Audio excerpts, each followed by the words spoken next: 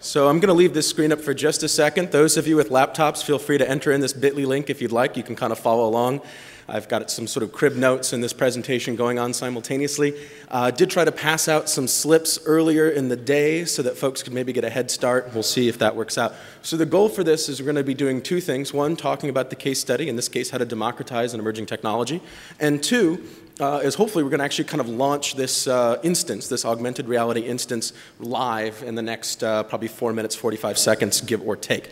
So, moving right ahead. So, obstacles. So, the idea is we wanted to do an augmented reality experience, uh, an instance, if you will. Uh, I was approached by a professor in the uh, architectural history department at Brown, and we wanted to put something together. But the problem was is that we couldn't really spend any money, we didn't really have access to anybody who could code, and we also didn't really have a lot of knowledge about it ourselves. So we kind of had to juggle these three things.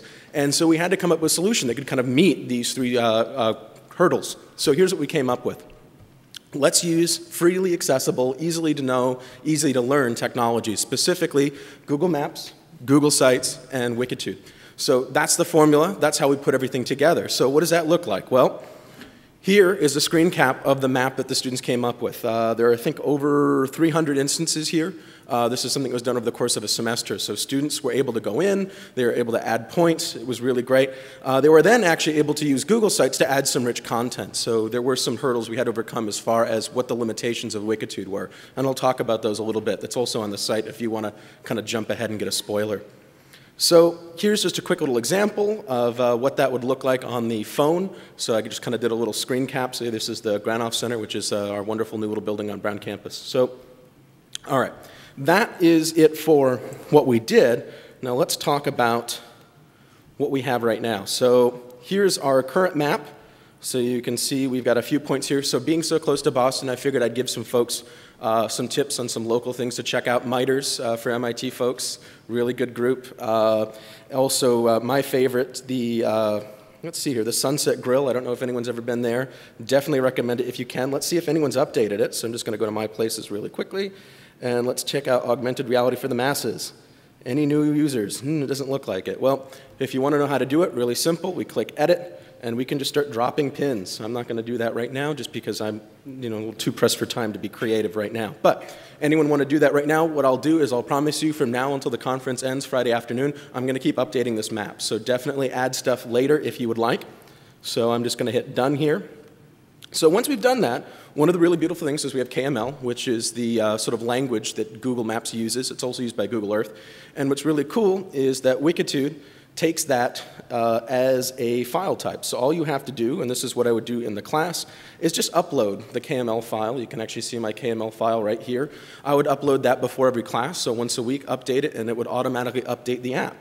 Uh, in fact, to show you how easy it is to update, I actually have right here some screen caps. So for those of you who have taken the time or who might already have Wikitude on your phones, here's how we do it really quickly. Let's see if it'll start. I have to, no, you have to toggle through. Okay, so uh, what you do is go into your favorite section. Just click on uh, right here, All Worlds. Uh, that will bring up a little list. Here you can see the nice little NMC world. And here we are. We've got our map view already populated. And once again, just to show you how live and dynamic this is, check that out. So here we are, uh, and we've already kind of updated that view. Now, some caveats, some things to keep in mind. Notice that uh, and showing the shell station is that way. I'm pretty sure that's not the right direction. It's best if you use it outside. The reason being is metal structures tend to interfere with the magnets, so definitely go outside and practice this instead of uh, getting kind of confused. But there we go. It's really that simple. Uh, there's some additional instructions on the site about using Google Sites for rich content.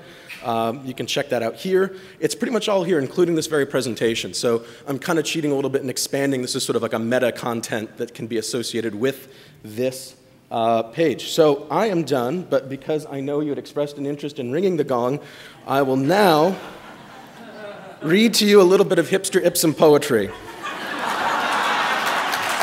So, Quinoa, Freegan, Portland, Bushwick, Occupy, FAP, Odd Future, Next Level, Synth, Sinester, Bicycle Rights, Freegan, Biodiesel, Cred, American Apparel, Truffaut, Scenester, Single Origin, Coffee, Direct Trade, New High, Craft Beer, Irony Swag, Salvage, uh, Salvage, Bushwick, Echo Park, Terry Richardson, uh, Milkshake, Narwhal, Odd Future, Put a Bird on It, uh, Ennui, Squid, Bespoke, Ethnic Guitar. How long do I have to keep this going? Okay, um, Tumblr, salvage, cardigan, carries, uh, too far, keytar, step sound. Okay. Thank you.